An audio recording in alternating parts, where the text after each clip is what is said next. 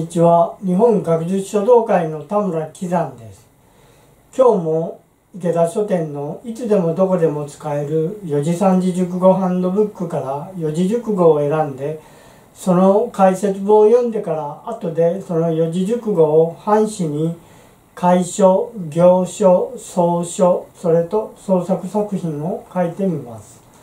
今日の四字熟語は、清濁平丼です。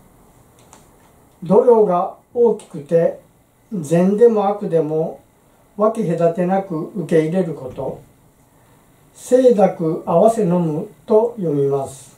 使い方は社長たるものは清濁平丼するぐらいの度量があってほしいなどと使います。では今から清濁平丼を楷書で書いてみます。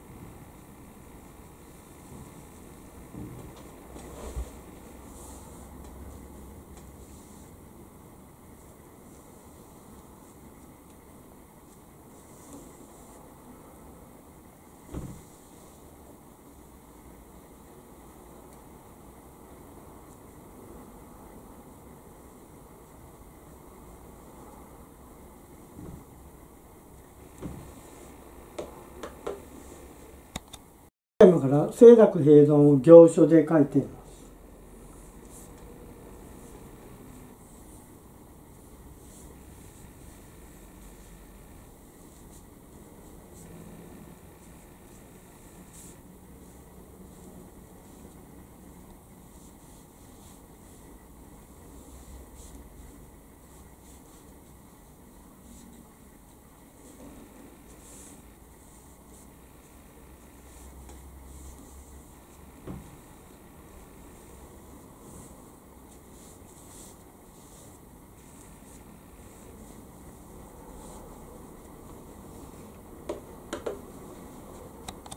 から清濁平等を草書で書いています。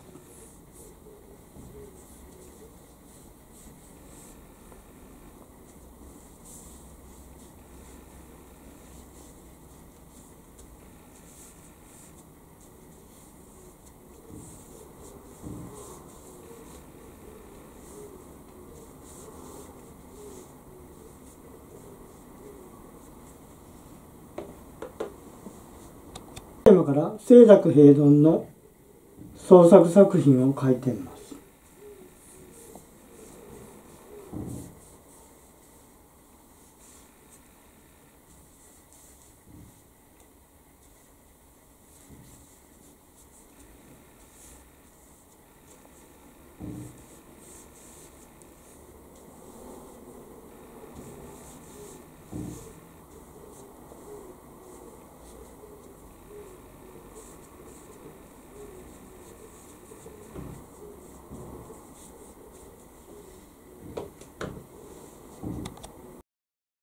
最後までご覧いただきありがとうございました。